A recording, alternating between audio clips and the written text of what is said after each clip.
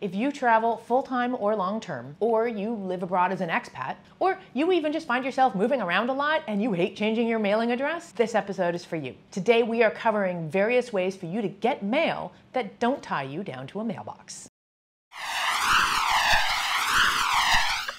Before you even start figuring out how or where to get your mail, the first thing to do is to reduce the amount of mail that you get in the first place. And this process starts months before you even leave home. I say months because not a lot of mail we get is super regular, so taking a critical look at the mail you do get may take a while. Reducing the amount of physical mail that you get is a two step procedure. First is to get yourself off mailing lists. If something comes in for you that you don't want to get again, contact the company and ask to be removed from their list. The second thing to do is to move the mail you do want to get to online options. Most financial institutions and services and whatnot have paperless statement notification options. You're going to want online accounts to manage everything anyway, so moving to the paperless option is easy to do. Basically, look at every single piece of mail that comes in and ask yourself, how can you never get that again? Now, this works for the majority of your mail, but you can't entirely get rid of all of your mail. For some things, you'll still need an address. This, things like government correspondence, which includes not only tax stuff, but also things like your driver's license, ID cards, etc.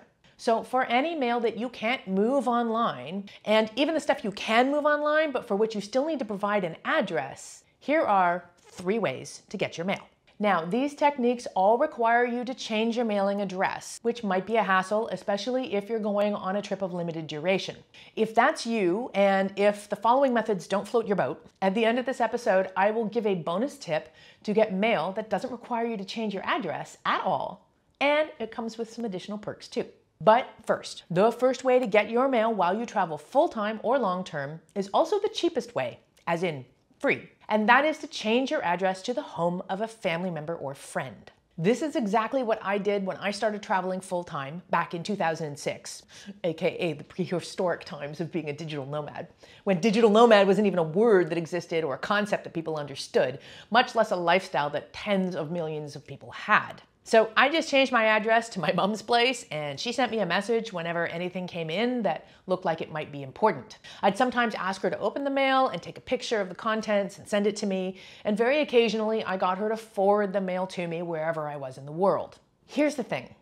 Not everybody has a friend or family member who is up for the task of being your official mailing address. And quite frankly, it's a bit of a hassle for them to take on that responsibility. Also, it requires quite a bit of trust for you to rely on them to deal with your mail and whatever private matters might be enclosed in those letters. So, for another option that doesn't require somebody to open your mail, you can forward your mail to a P.O. box. This ensures that not only will your designated friend or family member not open your mail, but nobody will. So, unless you can be absolutely sure that nothing will come in that requires your attention while you're traveling, the P.O. box is a bit of a risky route. Also, not all official institutions like banks and government entities will accept P.O. boxes as official residences for getting official mail. So, although I have spelled this out as an option for getting your mail, Admittedly, there will be very few situations when it's actually appropriate or feasible. This brings me to the main topic of this video, which are virtual mailboxes.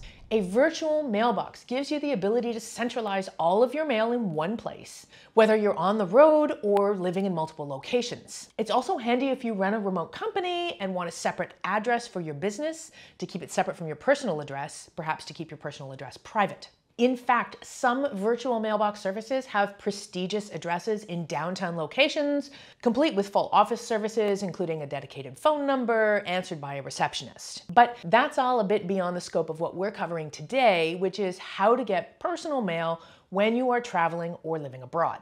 Despite the virtual moniker, you will get an address with a virtual mailbox that is actually a real physical street address, which you can send all your mail to.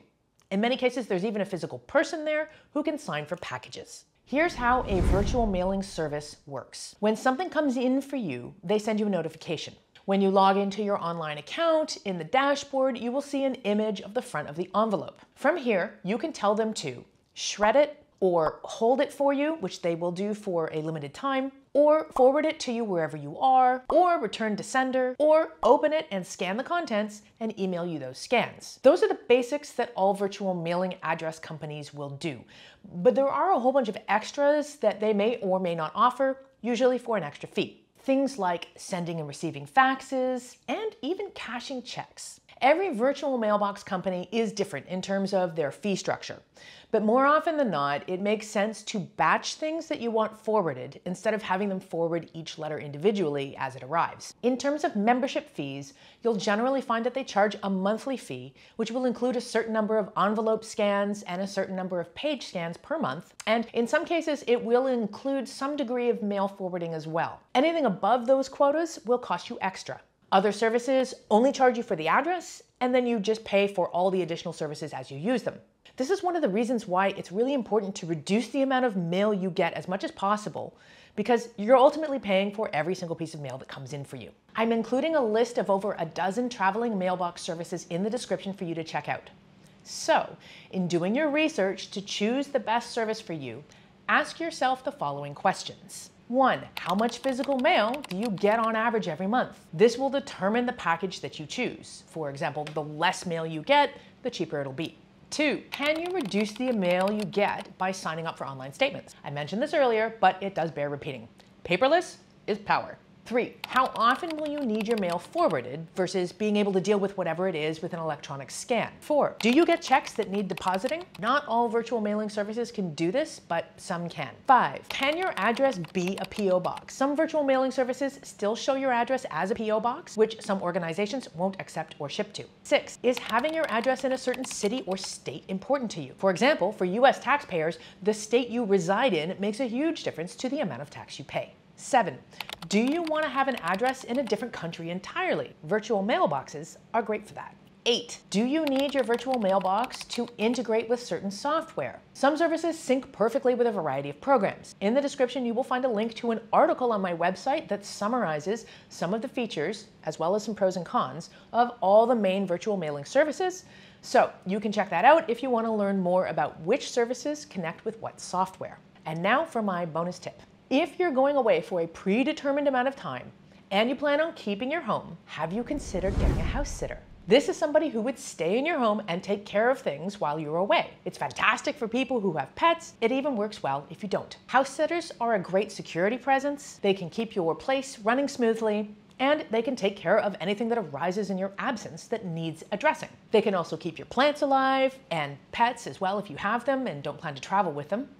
And they can check your mail for you and let you know when stuff comes in that needs your attention. The best house sitting gig that I ever had was for a summer in Switzerland. I had full run of the house in Zurich and the Alpine cottage near Lucerne and use of the car. I could be wherever I wanted to be and when, and my only duties were to keep the orchids alive and to let the homeowners know when mail came in and to follow any instructions they had regarding the mail, just like a virtual mailing service would do. Unfortunately, one of the orchids didn't survive the ordeal, but their mail was all in order when they returned from their trip, and I bought them a new orchid, so no harm, no foul. If you want to learn more about house sitting, check the description for some resources. While you're down there, please subscribe to this show and share it with anybody you know who likes to travel smart in style. I'm Nora Dunn, aka The Professional Hobo, and I will catch you next time.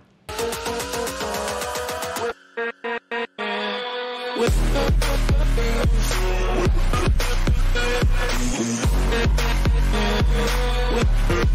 back.